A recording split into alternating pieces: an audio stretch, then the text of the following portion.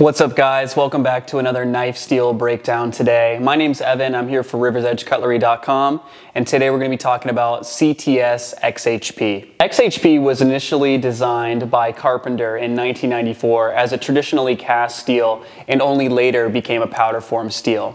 When it was first introduced, XHP was initially intended for use in industrial applications and then only later found its way into the pocket knife world. During its development, XHP was intended by Carpenter to have the toughness of D2 with the corrosion resistance of 440C, and that's how we get CTS XHP. As far as edge retention, XHP has actually excellent edge retention. It slots slightly above something like S30V or S35VN, while slightly below steels like Elmax and M390.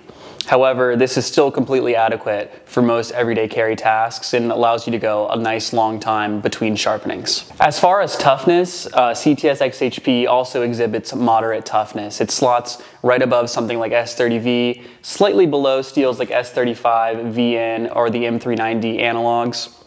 And this is most oftentimes why you see XHP in pocket knives and in light use fixed blades and not heavy use fixed blades pry bars, or other tools that require a lot of horizontal force. As far as corrosion resistance, CTS XHP is completely adequate for most everyday carry tasks.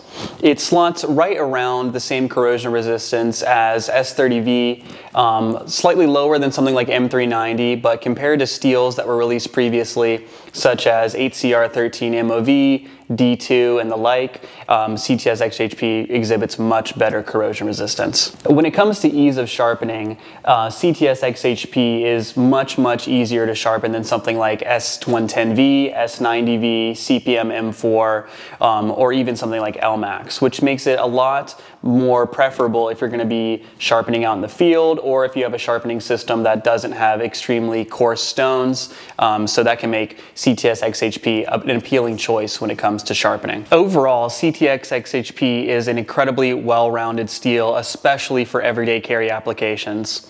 While in some categories it could be bested by steels that are kind of specialists in certain categories like S110V or Maxamet for edge retention or LC200N for corrosion resistance, the sum of the CTS XHP's parts make it a really, really good choice for a steel with a lot of pros and very few cons. So I'm gonna bring you guys in a little closer and show you some of the blades that we have here on the table exhibiting CTS XHP.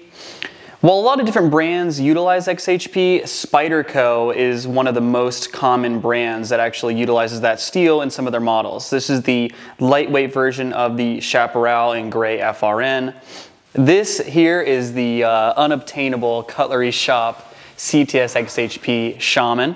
Shout out Cutlery Shoppe. And then finally we have the new Bird's Eye Maple Chaparral, also exhibiting CTS XHP. I think all these models exemplify a, a, correct usage of this steel. Alrighty guys, this has been Evan for riversedgecutlery.com. Thanks for joining us for another knife steel breakdown. If you have any more questions, you can find us on our website, uh, Instagram, Facebook, all at Rivers Edge Cutlery, and I'll talk to you guys soon. Thanks.